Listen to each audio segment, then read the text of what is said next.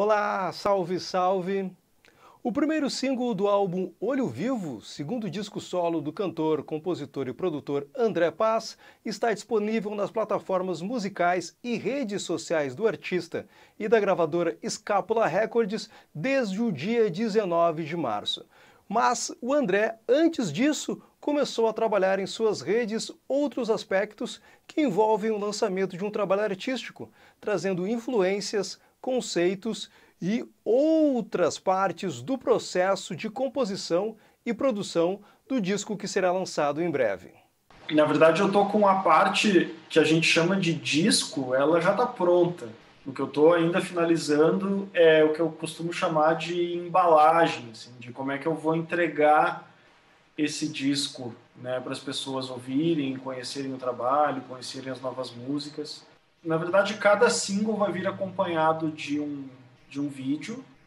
Uh, e depois que o álbum inteiro for lançado, a ideia é pegar um, um, depois de um tempo assim, compilar um material e lançar como se fosse um o pessoal tem chamado isso de, de álbum visual, né? Porque que vai mostrar essa narrativa toda assim que a gente está construindo.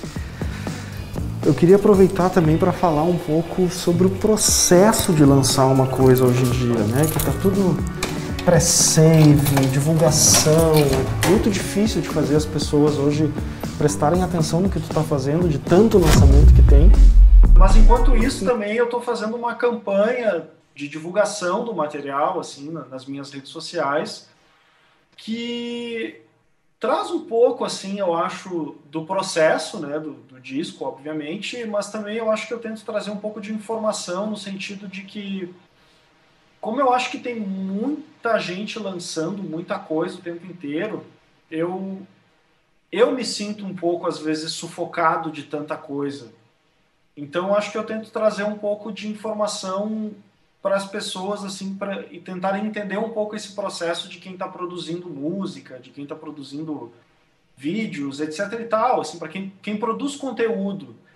Eu queria pedir para vocês me seguirem no Spotify se vocês ainda não seguem. Desde que eu terminei o meu primeiro disco, eu já não me vejo mais assim como músico e eu gosto de tocar as minhas músicas.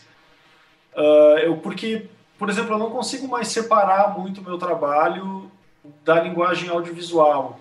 O fato de também trabalhar com áudio, né, e produzir outros artistas e aprender a se gravar e tudo mais, meio que foi tudo convergindo assim para essa coisa de, de, de não me ver só como músico, né, mas de tentar atacar nesses dois campos assim.